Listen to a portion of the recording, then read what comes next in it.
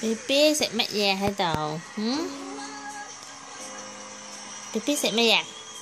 Nên là cái sức thắm Nên là thái tuổi voice Nên là hay là sẽ mẹ. Sẽ mẹ này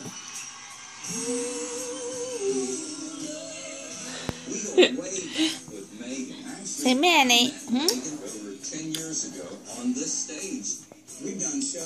Vậy Pipi sẽ mẹ già.